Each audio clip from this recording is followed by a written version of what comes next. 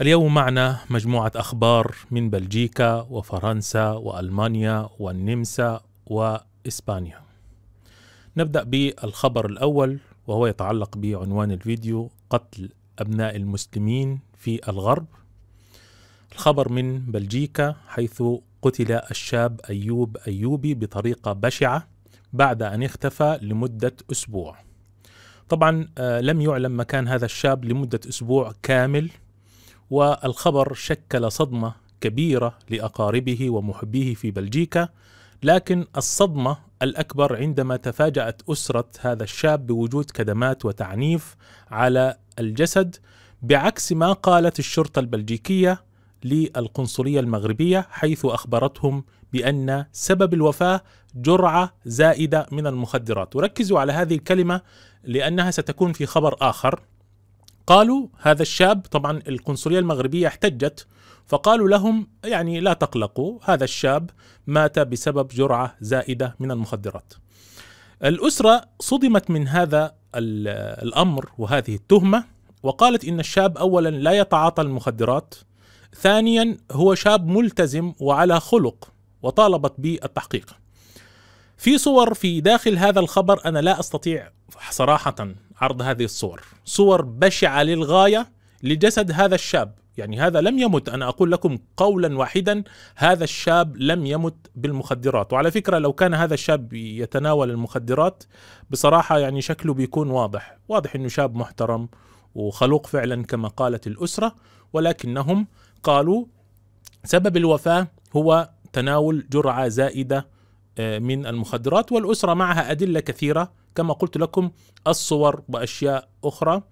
وللأسف الشديد هذا فيه تستر على الجناه يعني بدل ما الشرطة المغربية الشرطة البلجيكية تحقق في هذا الأمر ويعني على الأقل يأخذ وقتهم حتى يكشفوا عن هذه الجريمة مباشرة تستروا على الجناة المجرمين الذين اختطفوا الشاب وقالوا قد مات بجرعة زائدة من المخدرات. وانتهت المسألة. نسأل الله سبحانه وتعالى أن يرحمه. المؤسف أكثر وهذا أنا عاوز الناس اللي عايشة في بلجيكا وأوروبا بصفة عامة تكلمني عن هذا الموضوع. يعني موضوع المحامين في هذه الدول أنا اكتشفت أنه كثير من الأسر تقول بأن المحامي آه، الذي يفترض أنهم وكلوه هو أيضا يتعاون مع السلطات البلجيكية والشرطة ويتحجج ويتنصل آه، من عدم الوصول إلى ملف القضية آه، بين يدي الشرطة. في أخت سابقا أيضا من بلجيكا اعتدي على ابنها جنسيا والمحامي أو المحامية كانت أيضا هي مع الحكومة. طب أنا مش فاهم إزاي يعني هل هذا المحامي أصلا مش فاهم.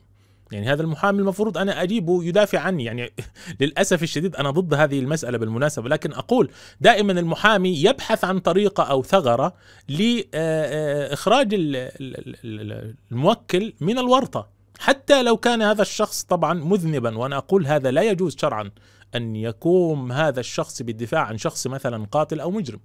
العجيب هنا ان الأسرة هذه مجني عليها والمحامي يتعاون مع السلطات.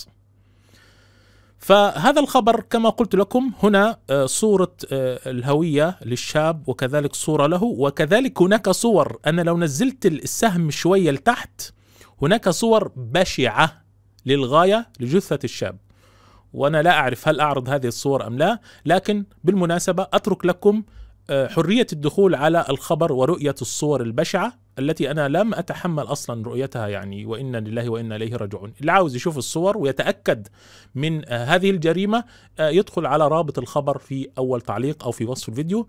نتقدم بخالص التعازي لهذه الأسرة الطيبة وأسأل الله سبحانه وتعالى أن يرحم هذا الشاب وأن يتقبله في الشهداء.